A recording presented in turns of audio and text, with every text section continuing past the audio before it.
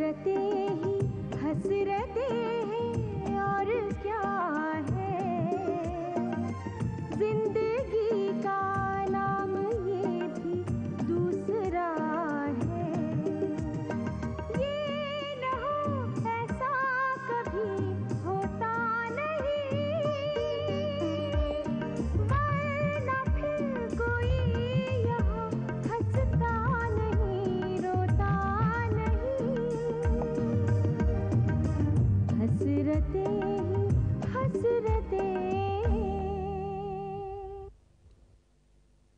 मुझसे ना मिलने के लिए तुम्हारे पास कई बहाने हैं और ऊपर से कहते हो कि तुम्हारी याद आती है। सावी जल्दी वापस आ जा अब मैं कैसे आ जाऊँ? अब डिलीवरी कोई फास्ट फॉरवर्ड तो नहीं की जा सकती ना? एक बात बताओ मानसी मर्दों के मामले में तुम्हें गाइडेंस की ज़रूरत कब से पड़ने लगी? जब से तुमने सावी के साथ शादी कर ली तब से। तेरे फूफा जी क्या तेरे यहाँ आते जाते थे? ये तुम क्या पूछ रही हो बुआ? जब बच्चा रोने लगे तो उसके हाथ में क्या देना चाहिए? दूध की बोतल।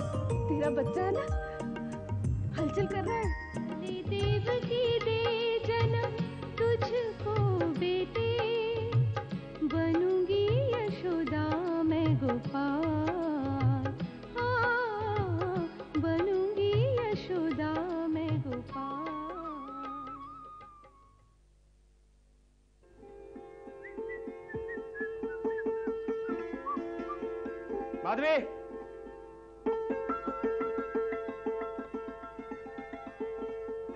माधवी।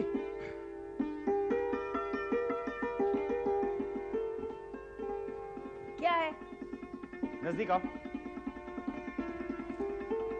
अरे इतना नज़दीक नहीं। अच्छा डॉक्टर ने सावी को कल की डेट दी थी ना? हाँ तो? उसे लेबर पेंस क्यों नहीं शुरू हो रहे हैं? अरे भाई आने वाले मेहमान के स्वागत के लिए मैं बहुत उत्सुक हूँ। बुआ पकौड़े बहुत अच्छे बने हैं। सावी तुम्हारे पेट में दर्द वर्द नहीं हो रहा क्या? जरा भी नहीं? लेकिन डॉक्टर ने तो तुम्हें कल की डेट दी थी ना? बुआ देखो ना पापा जी क्या बोल रहे हैं। तुम्हें ऑफ़िस नहीं जाना है क्या? अरे मैं ऑफ़िस चला गया और उसके लेबर पेन शुरू हो गया तो?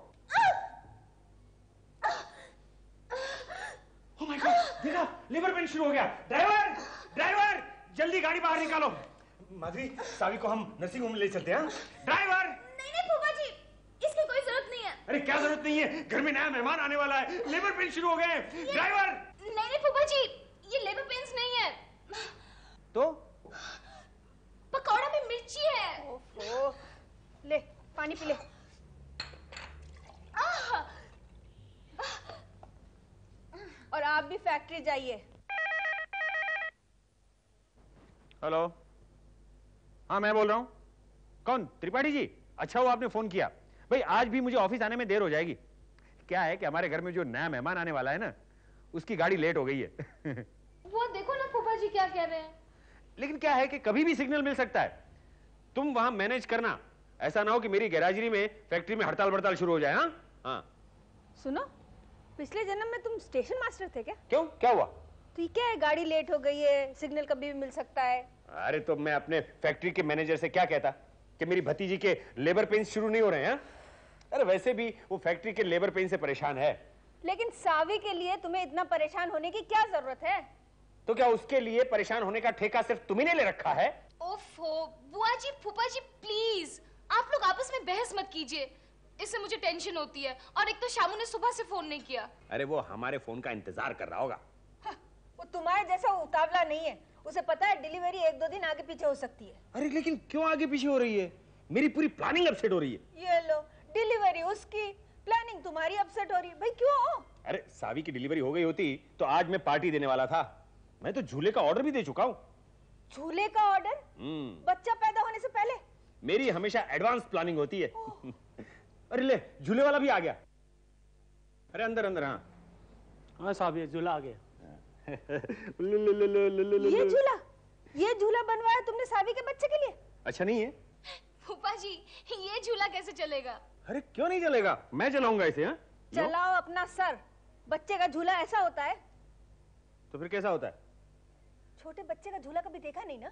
तुमने मौका ही कब दिया है देखने का?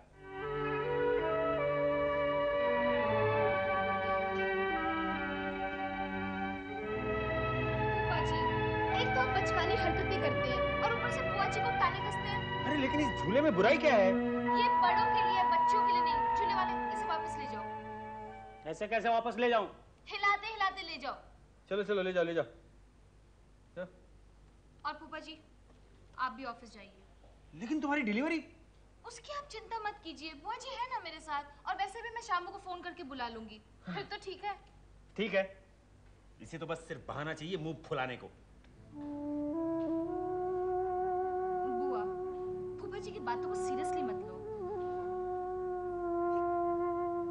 बाहर के आदमी के सामने। बुआ बुआ मत रो बुआ। बुआ please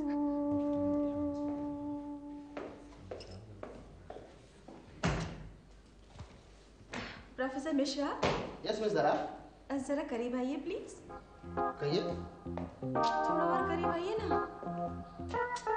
और करीब आइए बस। अब अगर इससे ज़्यादा करीब आया तो सारे स्टूडेंट स्ट्राइक पे चले जाएँगे। Okay okay I am so sorry जरा शाम से पूछिए ना वो हमें अभी तक खुशखबरी क्यों नहीं दे रही कैसी खुशखबरी? अरे भाई उनकी मिसेस को डॉक्टर ने कल की डेट दी थी। जरा पता करवाइए ना वो बाप बने हैं भी या नहीं? उनके बाप बनने से आपको क्या फ़र्क पड़ने वाला है? सॉरी भाई श्याम।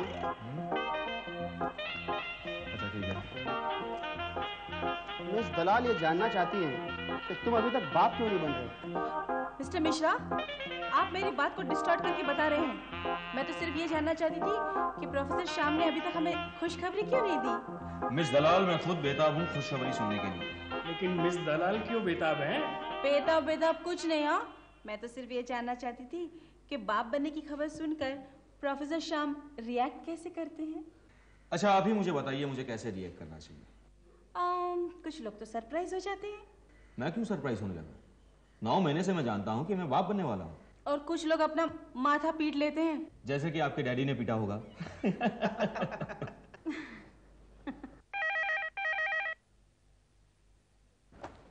हेलो। हाँ जी एक मिनट।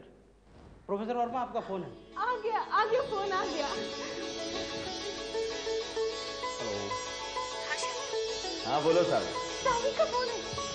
लेकिन मैं सीधे तो फ़ोन नहीं कर सकती ना। Sorry friend nothing so far हाँ कहो सर श्यामू तुम कहाँ हो? मैं कब से तुम्हारे फ़ोन का इंतज़ार कर रही थी? सॉरी सावी मैं जरा बिज़ी था। इतने बिज़ी थे कि कल शाम से तुम्हें मुझसे बात करने का मौका भी नहीं मिला? दरअसल मैं तुम्हारे फ़ोन का इंतज़ार कर रहा था। मेरे? आई मीन फूफा जी के।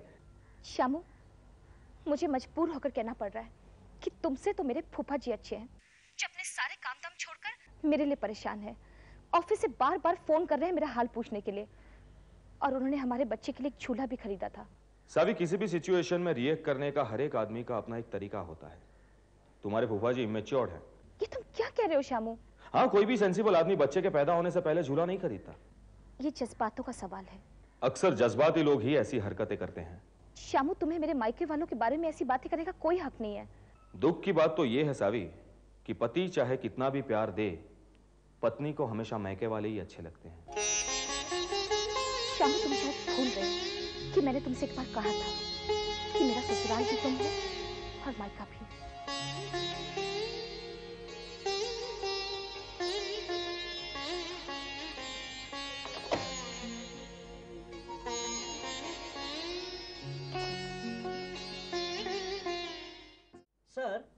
चार्टर ऑफ़ डिमांड्स में यूनियन की पहली डिमांड है तनख्वाह बढ़ा दी जाए। और दूसरी डिमांड है मेडिकल फैसिलिटीज़ में इम्प्रूवमेंट हो। और तीसरी मांग है फैक्ट्री की महिला कर्मचारियों के बच्चों के लिए बेबी सिटिंग का प्रबंध हो। त्रिपाठी जी। यूनियन के चार्टर ऑफ़ डिमांड्स की तरह फैक्ट्री के मालिक का भी एक चार्टर ऑफ़ डिमांड्स तैयार करो। जी। मैं कुछ समझा नहीं सर। अगर मजदूरों की मांग है कि हमारी तनख्वाह बढ़ाओ तो हमारी मांग ये है कि हमारा प्रॉफिट बढ़ाओ। और जहाँ तक दवा दारू की फैसिलिटीज़ का सवाल है तो हम भी ये चाहते हैं कि मजदूर दारू कम पिए ताकि दवा की नौबत ही ना आए। You are right sir very right और जहाँ तक बेबी सिटिंग का सवाल है तो पहले मम्मी सिटिंग करवाओ। मम्मी सिटिंग हाँ जब भी मैं फैक्ट्री में राउंड मारने जाता हूँ तो सारी महिला कर्मचारियों को गायब पाता हूँ। पहले मम्मी सिटिंग बाद में बेबी सिटिंग ठीक है सर तो मैं एक रफ ड्राफ्ट बनाता हूँ। त्रिपाठी जी अभी जब बेबी सिटिंग का ज़िक्र आ ही गया है तो मैं आपसे एक सलाह लेना चाहता हूँ। मैं ओनर सर क्या आप मुझे बता सकेंगे कि छोटे बच्चे को गोद में कैसे उठाया जाता है? सॉरी सर अगर मुझसे कोई भूल हो गई हो तो अरे नहीं नहीं मैं आपकी बात नहीं कर रहा हूँ। हमारे घर में जो नया मेहमान आने वाला है ना मैं उसकी बात कर रहा हूँ। आई सी लेकिन सर इस मामले में तो मैं भी अनजान हूँ। अरे क्या बात कर रहे हैं? अरे आप तो तीन चार बच्चों के बाप हैं। उनको गोद में लिए हुए तो अरसा बीत गया साहब। अब तो वो मुझे गोद में लेने की कोशिश करते हैं। ओह, तो मुझे कौन गाइड कर सकता है? सर ये एक अर्जेंट केस में पुटअप कर रही हूँ। सर ये आप अनीता से क्यों नहीं पूछते? क्या है सर? अनीता मुझे ये बताओ कि नन्हे से बच्चे को गोद में कैसे उठाया जाता है? सर मैं जब भी आपके कैबिन में आती हूँ आप कोई ना कोई बचकाना सवाल ज़रूर पूछते ही है। नहीं नहीं अनीता इस बार गोविंद साहब की जेन्युइन प्रॉब्लम है। बात यह है कि उनकी भतीजी माँ बनने वाली है। मैं इतने नन्हे से बच्चे को शिकायत का मौका नहीं देना चाहता। सर मुझे तो लगता है आपको किसी भी बच्चे को गोद में लेने से पहले थोड़ी सी प्रैक्टिस कर लेनी चाहिए। हाँ सर। अरे मैं किसको गोद में लेकर प्रैक्टिस करूँ? बड़े आदमी को तो गोद में लेकर प्रैक्टिस कर नहीं सकता ना। वन मिनट अभी अभी थोड़ी देर पहले रोजी टॉय शॉप से अपनी भतीजी के लिए एक गुड़िया खरीद कर लाई है। Really Rosie come to my cabin immediately and bring your doll okay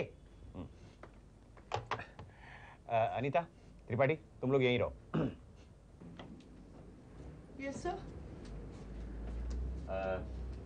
रोजी अनीता बता रही थी कि तुम टॉय शॉप में से गुड़िया लेकर आई हो। दरअसल बात ये सर आज हमारा नीस का हैप्पी बर्थडे है ना सर? शाम को टाइम नहीं मिलता सर। इसके लिए अभी शॉपिंग करके आया। I am very sorry sir it won't happen in future sir hold on hold on मैं तुम्हें फायर नहीं करना चाहता। Oh thank you thank God मैं तुमसे एक मशवरा करना चाहता हूँ। मशवरा? हाँ रोजी।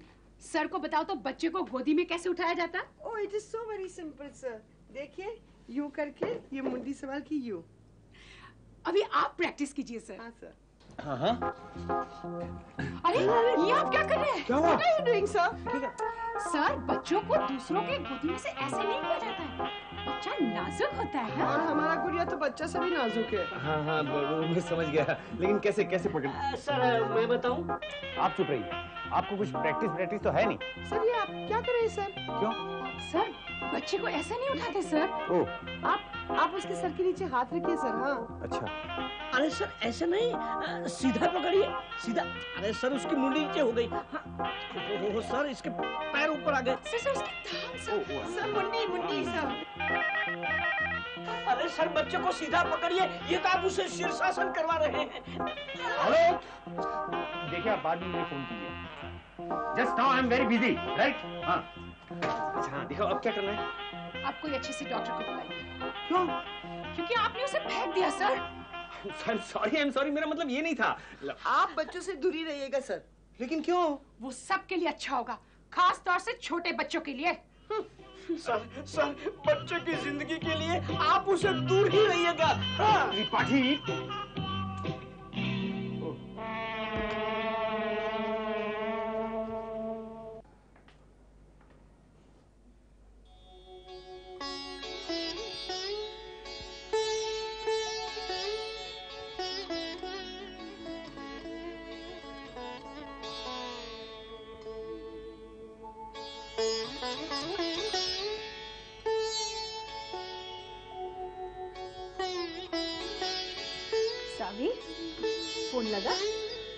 लग रहा है बुआ लेकिन कोई उठा नहीं रहा।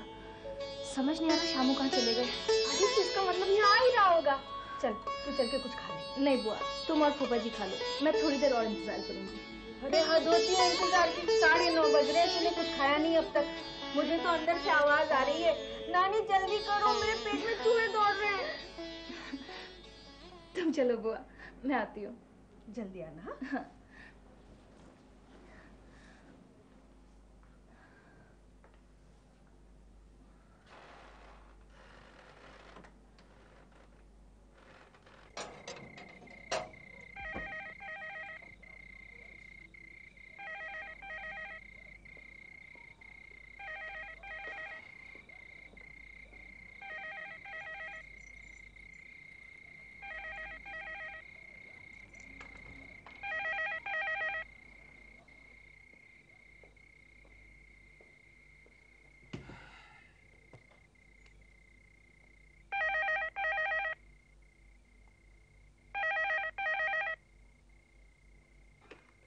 हेलो शामू मैं कब से तुम्हारा इंतज़ार कर रही हूँ? तुम हो का आई एम सॉरी सावी मैं एक ज़रूरी काम में उलझ गया था। अच्छा तुम आ रहे हो ना?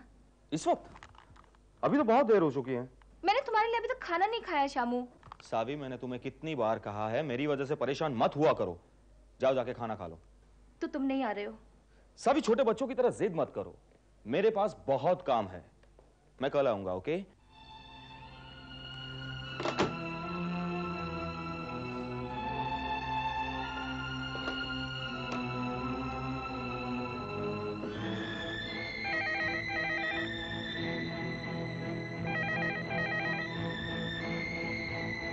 हेलो सभी गुस्सा क्यों कर रही हो? तुम बहुत बदल गए शाम मैं कल आऊँगा। ओके? हाँ बुआ मैं आ रही हूँ खाना खाने।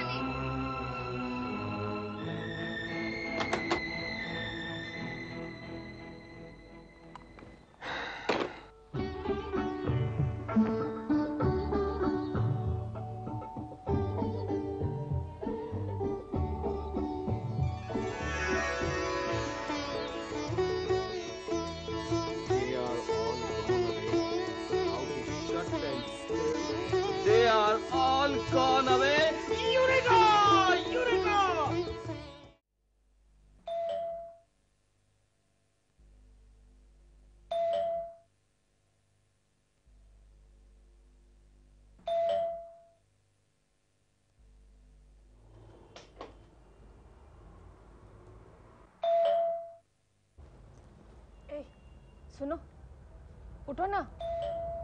ए सुनो। अरे उठो ना क्या बचाओ बचाओ बचाओ। क्या हुआ? क्यों चीख रहे हो? अरे भूकंप आया। पलंग के नीचे छुप जाओ चलो। अरे कोई भूकंप नहीं आया। भूकंप तुम्हारे सर में आया है। क्या मतलब? होश में आओ। भूकंप नहीं आया मैंने तुम्हें हिलाया। ओफो क्यों मेरी नींद खराब कर दी? अच्छा किया ना वरना सपने में किसी बिल्डिंग के मलबे के नीचे दब के मर जाते। कब से घंटी बजे जा रही है? जाओ देखो कौन है इतनी रात गए। अरे तुम क्यों नहीं जाती? अरे अगर मुझे कोई बाहर के बाहर उठा के लगेगा तो? अरे जो पिछले चालीस सालों में नहीं हुआ वो अब क्या होगा? जाओ जाकर दरवाज़ा खोलो। मैं फिर से एक बार भूकंप वाला सपना देखता हूँ।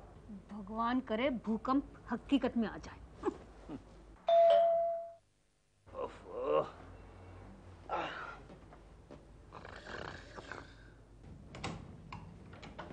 दामाद जी आप इस वक्त? वो जी बुआ जी सावी कहाँ है?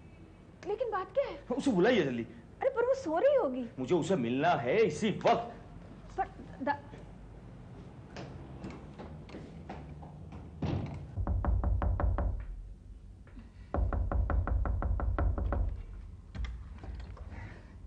शामू तुम?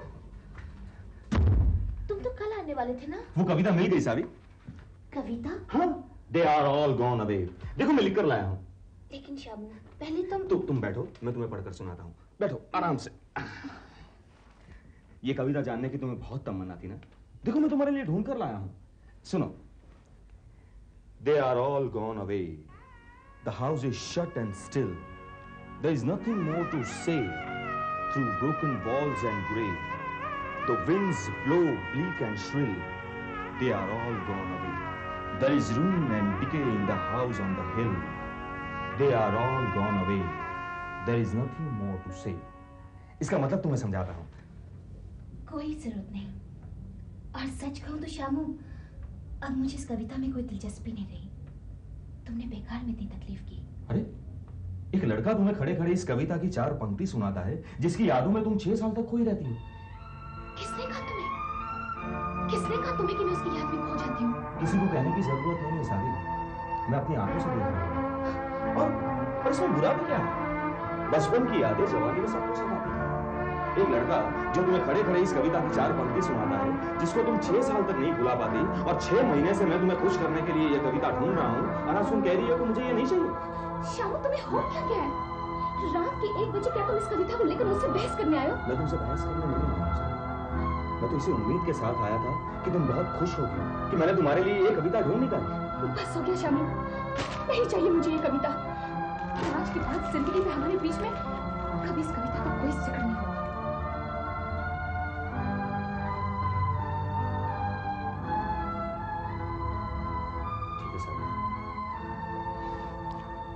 तुम सो जाओ मैं निकल रहा हूँ।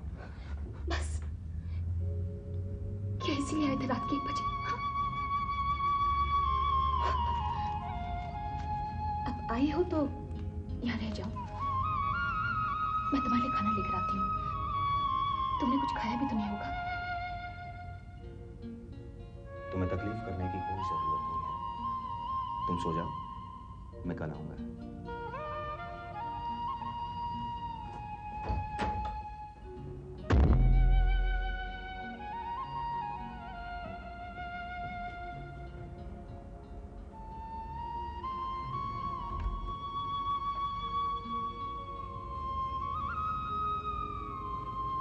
सावी शामू का इतनी रात गए तुम्हें नींद से जगाने आया था? नहीं बुआ। वो मेरी नींद उड़ाने आया था। क्यों करता है वो ऐसा? वो तुमने एक बार कहा था ना कि औरत को अपने बीते हुए कल के बारे में अपने पति को कभी बताना नहीं चाहिए। मैंने शाम को सतीश के बारे में